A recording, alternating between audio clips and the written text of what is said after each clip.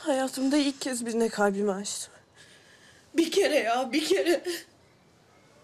Aylarca direndim ya. Tam inandım. Şu olanlara bak. Dinlemedi bile beni. Dinlemek istemedi. Üstüme verdi. Tamam kızım tamam. Ya anne niye böyle oluyor ya? Ben hiçbir iyi bir şey hak etmiyorum ya. Olur mu öyle şey? Benim de kabahatim büyük biliyorum ben. Ben seni Emir'den uzaklaştırıp Bora'ya itmeseydim böyle olmazdı belki de. Sen bana inat tutuldun Yiğit'e. Yok anne ya ben baştan beri iyiydi. Ama sen de haklısın biliyor musun? Yani sonuçta Yiğit serseri, cibiliyetsiz, güvenilmez. Ay tam ideal koca tipi değil mi? Tabii. Kimsenin terbiye edemediği vahşi bir atı sen ehlileştireceksin. Hangi kadın böyle bir şeyin cazibesine karşı koyabilir ki değil mi? Ya of anne ya.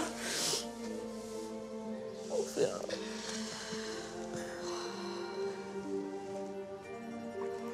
Emir'i öğrenmesinden hep korkuyordum zaten. Ya birbirlerine çok bağlılar. Ama ya ama tam her şey yoluna girmişti ya. Tam her şey yoluna girmişti. Onu da tamamen kaybettim anne ya. Ben Yiğit'e çok aşığım ya. tamam benim güzel kızım tamam. Ama o beni sevmiyor.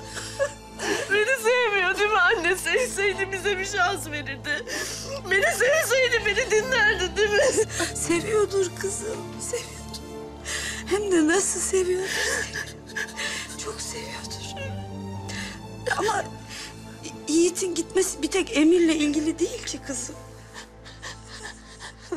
Ne o zaman? Kadınlar aşık olduklarında... ...sevdikleri adamla bir ömür boyu beraber olmayı hayal. Ama erkekler aşık olduklarında... ...sadece o kadını tavlamayı hayal ederler. E, Yiğit seni tavladı değil mi? Hayaline ulaştı yani. Hikaye bitti onun için. Bu kadar mı yani? Yani illaki erkekler böyle durumlarda kendilerini haklı çıkaracak bir sebep bulurlar.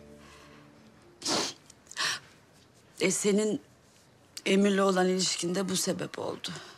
Ama emin ol bu olmasaydı da başka bir şey bulurdu. Karşı cins bu konuda çok yaratıcı kızım. İnan bana. Anne ben hiç iyi değilim ya.